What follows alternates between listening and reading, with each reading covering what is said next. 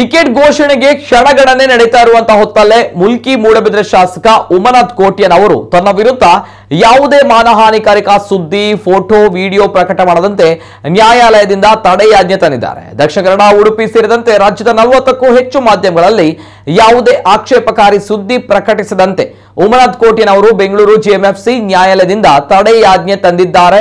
ಚುನಾವಣಾ ಸಂದರ್ಭ ಈ ದಿಢೀರ್ ಬೆಳವಣಿಗೆ ಬಗ್ಗೆ ಸಾರ್ವಜನಿಕ ವಲಯದಲ್ಲಿ ವಿವಿಧ ರೀತಿಯ ಚರ್ಚೆಗಳು ಆರಂಭವಾಗಿದೆ.